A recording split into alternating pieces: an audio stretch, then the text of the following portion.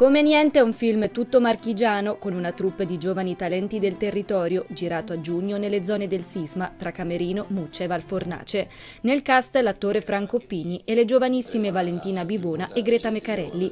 La regia del ventottenne anconetano Davide Como, la produzione targata Guasco in associazione con Poliarte, Accademia di Belle Arti e Design di Ancona.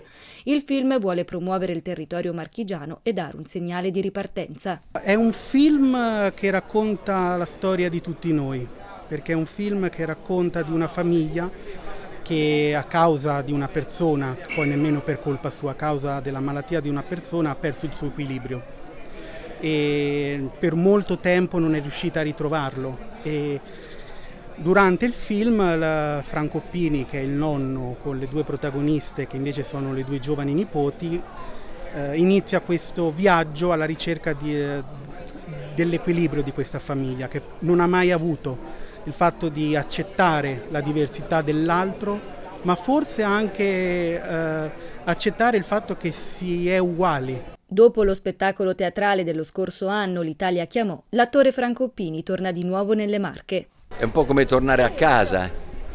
C'è qualcosa che mi richiama evidentemente, c'è un segnale che devo saper cogliere. Che effetto le ha fatto girare il film nei luoghi colpiti dal sisma e nelle SAE?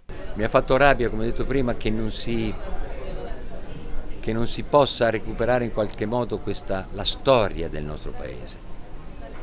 Cioè Camerino, che io ho frequentato in teatro anni scorsi, che è sede di un'università storica, non può essere abbandonato così. Dobbiamo fare qualcosa in Italia.